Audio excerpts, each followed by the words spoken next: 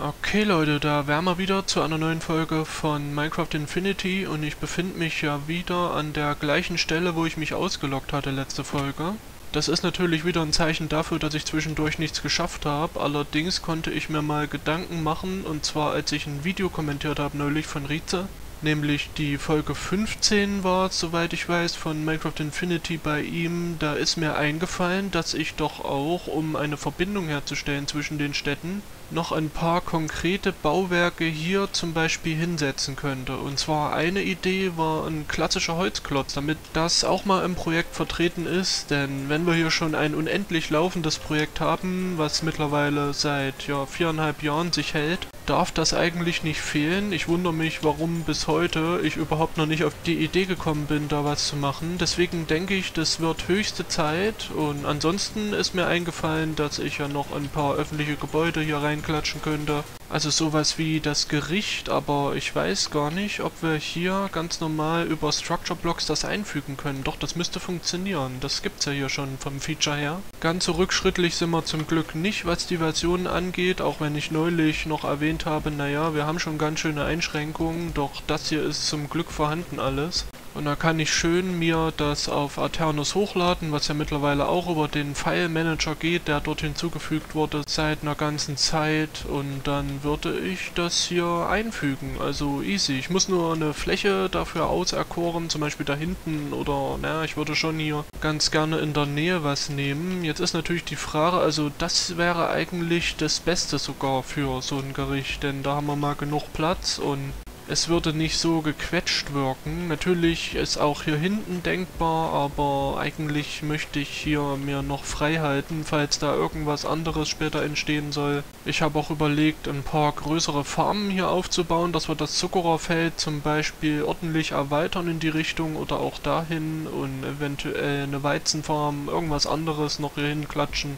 Das wäre also besser geeignet. Hier drüben ist dann eben so eine Fläche, naja gut, das ist ja eigentlich der Startpunkt. Hier ist der Spawn an sich, naja, es passt aber schon vom Thema auch. Dass wir vielleicht direkt daneben das Gericht hinhauen, eventuell auch erhöht, also auf dem Level können wir ruhig bleiben. Dann geht es eben hier über so eine Art Treppe hinauf hier hinten ist natürlich die Frage, wie wir das gestalten, ob das einfach so bleibt oder nochmal umgebaut wird, Terraform technisch, aber ich würde erstmal nicht so viel auch unmittelbar in der Nähe von den Gebäuden machen wollen, weil schon noch abgebildet bleiben soll, was die Spieler ja hinterlassen haben. Und ich meine, der Cheville hat ja hier eindeutig gezeigt, dass er ein Haus bauen wollte in der Größe und das da auch, das würde ich dann respektieren wollen, statt direkt daneben irgendwas hinzukleistern, das passt dann doch eher weniger. Also lieber hier den Bereich nutzen und ich würde sagen, den Holzklotz, ja, wo bauen wir den hin? Das ist eine gute Frage. Vielleicht hier unten sogar in das Tal, denn dann haben wir echt so ein Bindeglied, dass wir nochmal was stehen haben zwischen der und der Stadt, wenn man so will. Eigentlich ist es ja schon eins. Nur es soll immer mehr so wirken auch, dass es tatsächlich eine einzige Siedlung ist und nicht mehrere, wo verschiedene Kerne hier sich rausbilden nee, ich möchte, dass man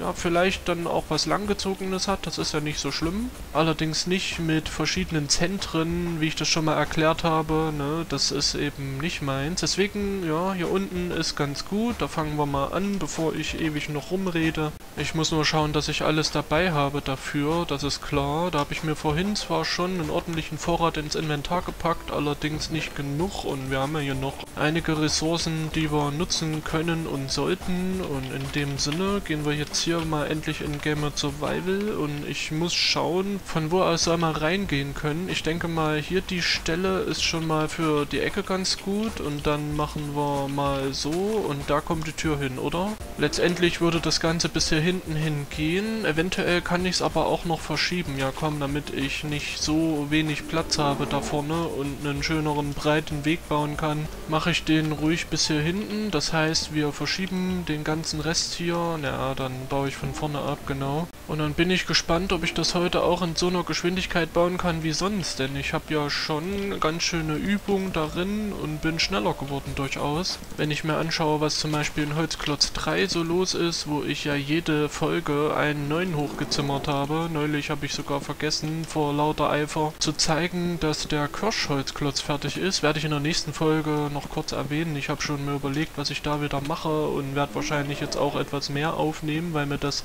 Projekt tatsächlich übelst Spaß macht. Ich weiß auch nicht, woher das auf einmal kommt, aber ich werde in der Folge darauf eingehen, was ich so vermute, warum das solchen Spaß macht, aber das sehen wir entsprechend dann und ich würde mich jetzt erstmal hierauf konzentrieren, denn ja, wie man sieht, habe ich einige Probleme, mein Inventar leer zu halten, aber gut, wir haben ja eigentlich auch viele Items, die ich gerade nicht brauche, zum Beispiel die ganzen Lootbag-Geschichten, das ist alles unnötig.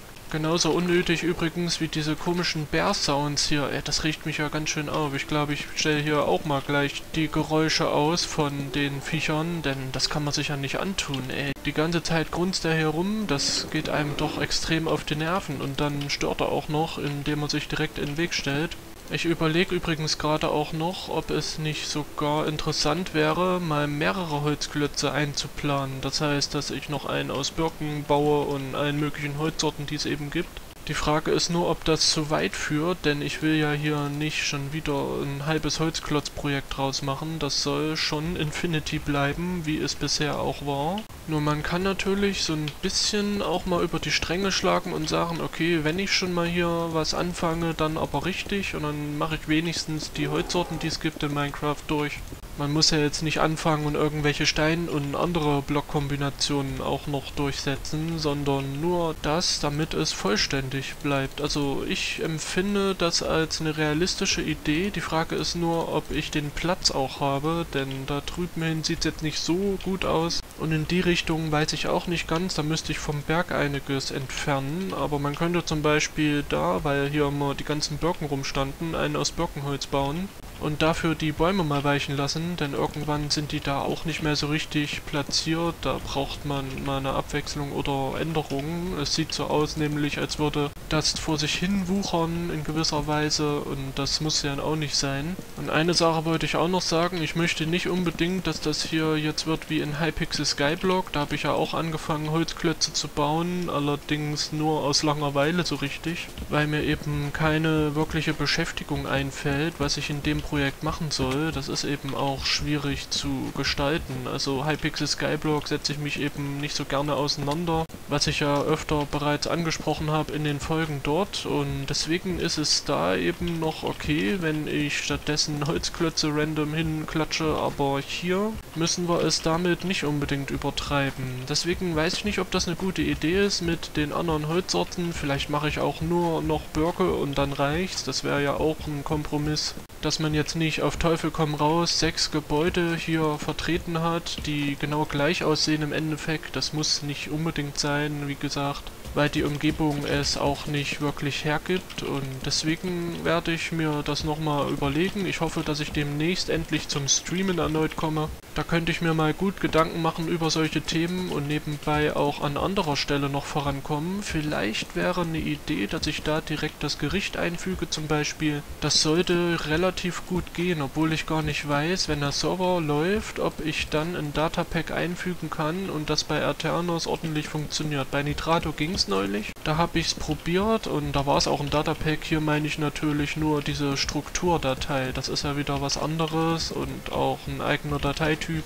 Deswegen ist es nicht unmittelbar vergleichbar, aber wahrscheinlich nach einem ähnlichen Prinzip. Naja, aber man merkt ja auch, dass Aternos nicht dasselbe wie Nitrato ist, deswegen muss man jetzt hier unbedingt auch austesten und kann nicht sagen, dass das auf jeden Fall genauso funktionieren wird wie bei dem anderen Anbieter. Es gibt ja schon deutliche Differenzen insgesamt. Ich bin ja gespannt, was Rize noch dazu sagen wird, ob er das feiert oder er denkt, nee, lass mal, muss nicht in dem Projekt sein. Allerdings ist es wahrscheinlich schon eine lustige Sache auch. Wenn ich mich richtig erinnere, hatten wir sogar irgendwann mal gesagt, dass ich hier einen natürlich generierten Holzklotz einfügen soll, irgendwo im Berg oder so versteckt, wie äh, damals in Tiny CL7, glaube ich. Da war das ja auch immer so ein Running Gag, dass der überall plötzlich gespawnt ist mit der Zeit, weil ich damals verschiedene Dinge in Structure-Blöcke gespeichert hatte, wie auch mein Haus, um es vor der Zerstörung zu schützen.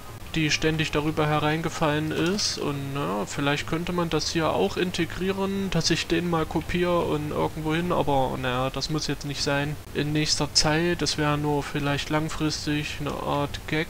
Allerdings würde ich jetzt erstmal ein Thumbnail für diese Folge machen, damit ich gleich beenden kann. Ich habe nämlich nicht mehr allzu viel Zeit hier zum Aufnehmen, aber ich denke, es ist eine interessante Folge geworden, warum nicht? Ohne mich jetzt wieder selber loben zu wollen, aber ich finde, es ist auf jeden Fall besser, als wenn ich zum Beispiel die zehnte Folge hintereinander am Terraform bin.